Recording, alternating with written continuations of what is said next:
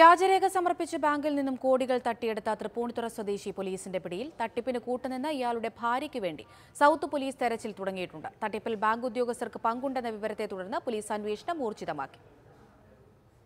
Bank loan ആവശ്യമുള്ളവരുടെ ഭൂമിയുമായി ബന്ധപ്പെട്ട രേഖകൾ സംഘടിപ്പിച്ചാണ് തൃപ്പൂണിത്തുറ സ്വദേശി റിജി പൗലോസ് തട്ടിപ്പ് നടത്തുന്നത്. ആവശ്യമുള്ള പണം നൽകാമെന്ന് ഭൂ ഉടമകൾക്ക് ഉറപ്പ് കൊടുത്തായിരുന്നു രേഖകൾ സംഘടിപ്പിക്കുക. ഇത് പണയപ്പെടുത്തി ഭീമമായ തുക ബാങ്കുകളിൽ നിന്നും ലോൺ എടുത്തു മുങ്ങും. വ്യാജമായി ഉണ്ടാക്കിയ റജിയുടെ പാൻ കാർഡും തിരിച്ചറിയൽ കാർഡുകളുമാണ് ഭൂമിയുടെ രേഖകൾക്കൊപ്പം റജി നൽകിയിരുന്നത്. ഇങ്ങനെ പണയപ്പെടുത്തിയ ഭൂമികൾക്ക് ജപ്തി നടപടികൾ തുടങ്ങിയതോടെയാണ് ഇടപാടുകാർ സംഭവം അറിഞ്ഞത്.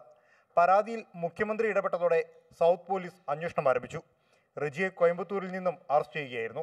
അയാളുടെ നിന്ന് മൂന്ന് വണ്ടി എടുത്തായിരുന്നു. ആ വണ്ടിയിൽ ലോൺ നിർത്തിയാണ് എടുത്തത്. അതിന്റെ ബാങ്ക് സ്റ്റേറ്റ്മെന്റ് വെച്ചിട്ടാണ് കാൽക്കുലേറ്റ് ചെയ്താണ് എടുത്തത്. പക്ഷേ ഈ സ്റ്റേറ്റ്മെന്റ് എല്ലാം വ്യാജമായിരുന്നു. ഞാനത് ക്ലോസ് ചെയ്യാൻ ചെല്ലുമ്പോഴാണ് അറിയുന്നത് വ്യാജമായിട്ടുള്ള സ്റ്റേറ്റ്മെന്റ് ആണെന്ന്.